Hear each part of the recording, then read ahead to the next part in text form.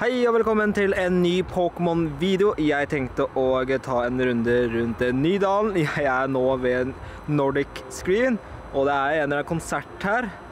Jeg vet ikke hva det er, men det er en sånn minikonsert. Jeg står i hvert fall på min eh, Ninebot. Sånn ser det slik ut. Og jeg, er litt usikker hvordan jeg skal klare å filme dette her. Oh, meg klør litt mens jeg kjører. Men eh, i hvert fall, skjermen kommer opp nå. Så forhåpentligvis så ser dere den. Jeg får ikke sett så mye inn i kameraet ettersom jeg må fokusere litt på uh, hvor jeg kjører igjen. Så er det veldig mye, mye du, sol, så jeg må dempe. Men som sagt, det er jo også masse folk som tar og ler når du da filmer deg sjøl, for det ser jo tåpelig ut. Men det er sant, så da får vi bare kjøre forbi, og så får dere høre uh, da ja, musikken.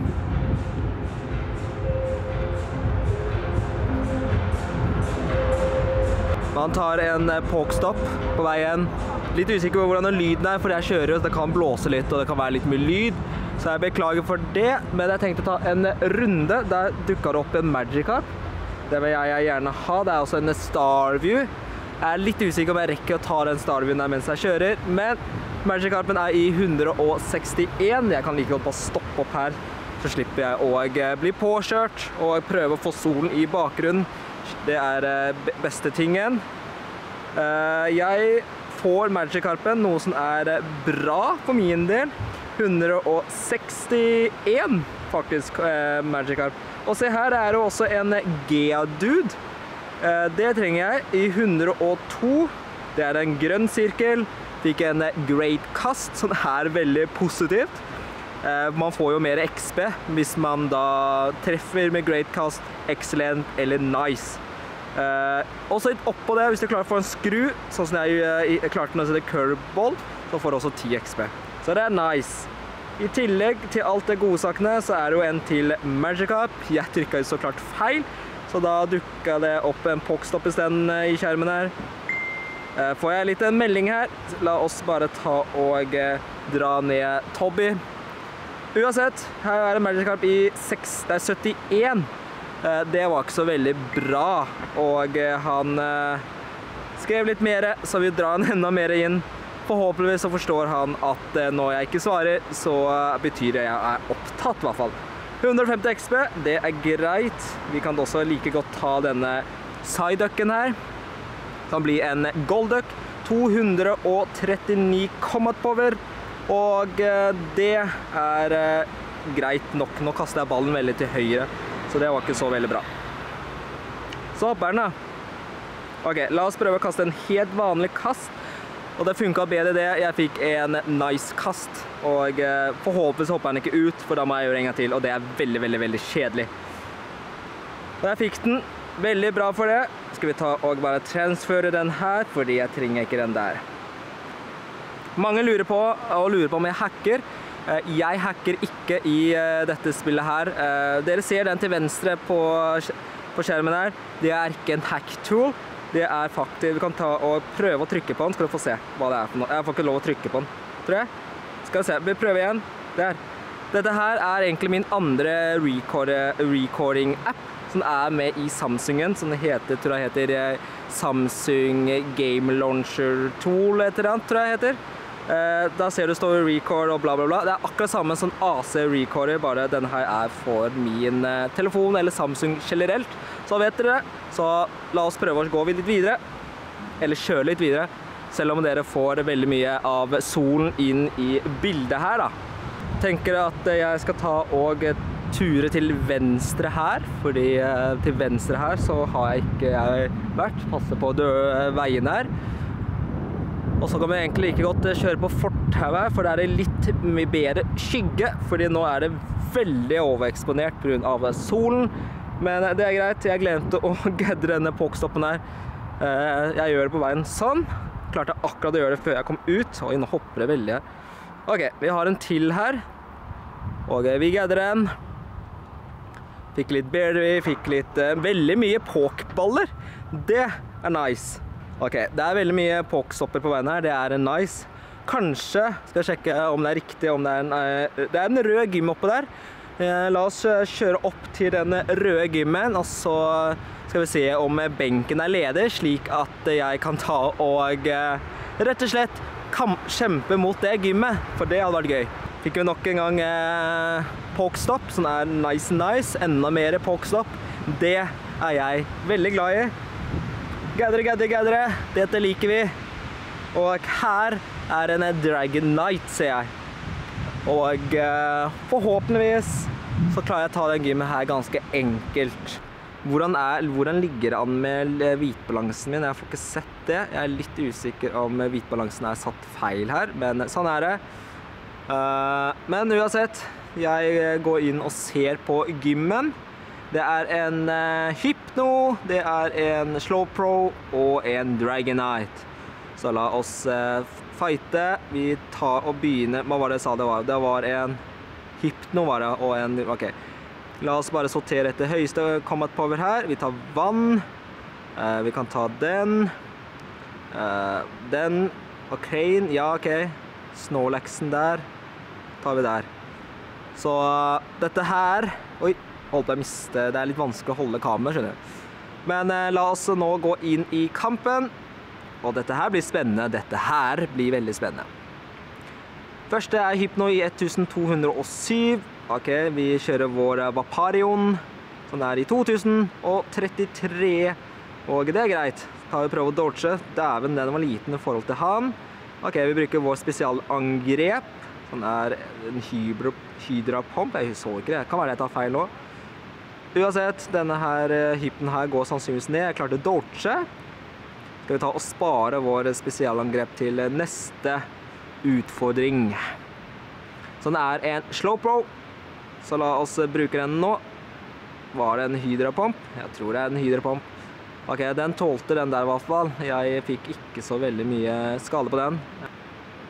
Ok.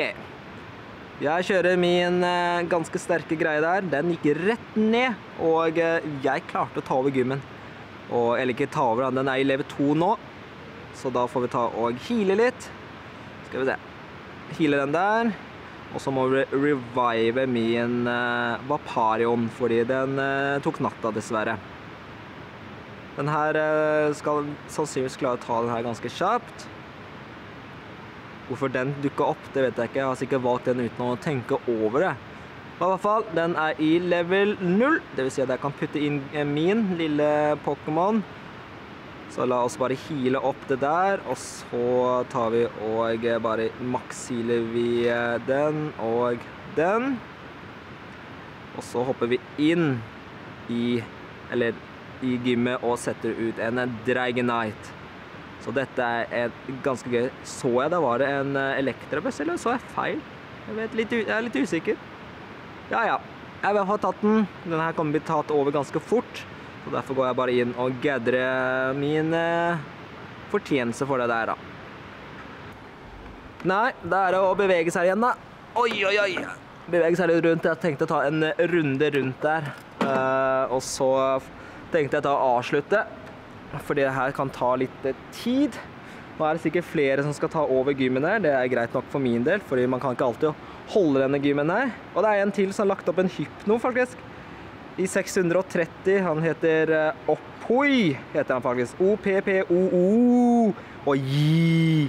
Så Oppoi. Er det noen flere som har lagt ut? Nei, det er bare han. En Paras Parras var det som dukka opp nå. Paras er ganske kult. 298 paras. Ok, det er greit, det er innafor. Kasteren. Fikk en ikke en nice throw eller great throw, men forhåpentligvis så får jeg taken, og det hadde vært gøy. Og det gjorde jeg, og det er jeg veldig glad i.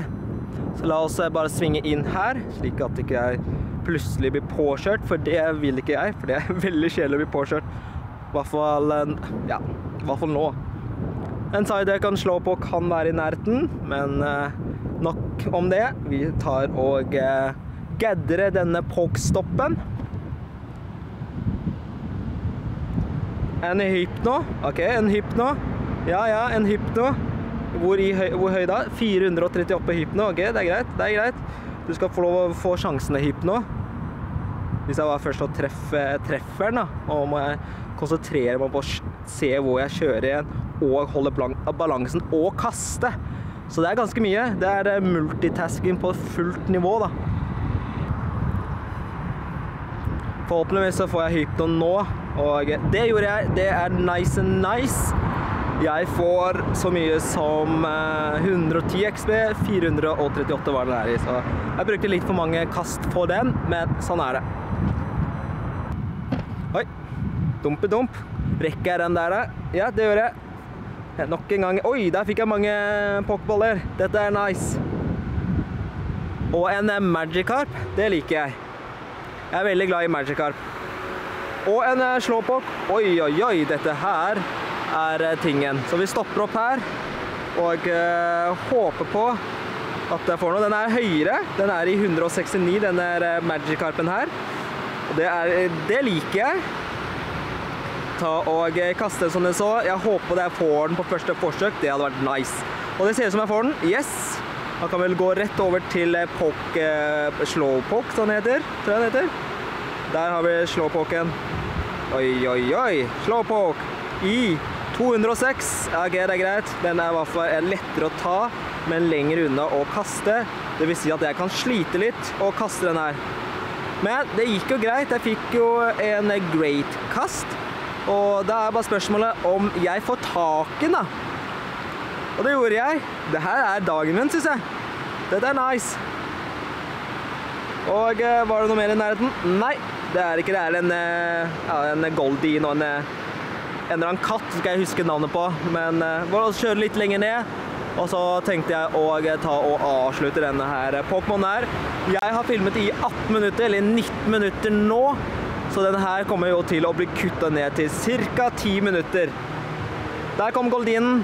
Kan jo like godt ta Goldin når vi er eh, samme, i nærheten av den. 585. Den er, skal være vanskelig å ta tak, eh, få tak i. Nå er det musikk, så nå vil ikke dere høre hva jeg sier, dessverre.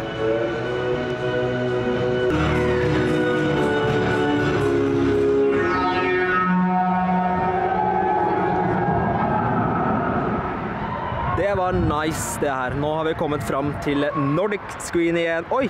Det er jo dæven en Nidro What? Sad what? OK. Dette her har vært nice. Jeg gjør det sånn at jeg avslutter denne episoden her for i dag. Hvis jeg finner denne her, så skal jeg ta og filme det. Men jeg er litt usikker om jeg finner den. Men eh, det hadde vært veldig gøy hvis jeg hadde funnet den. Eh, Men, men, sånn er det med den saken. La oss bare ta og gjøre slik. Og så gjør vi bare putte mobilen i lomma, for det er veldig viktig å gjøre det. Så hvis du likte denne videoen her, husk å like videoen, eller hashtag ta opp, som jeg pleier å si. Kommenter nede i kommentarfeltet hvis det er noe du lurer på, eller om du har fått noen kule Pokémoner, og har du ikke abonnert, så er det bare å gjøre det, fordi det kan jo bli en del av eh, linselyser. Jeg beklager for lyden, men sånn er det. Så snakkes vi til en ny video. Ha det bra.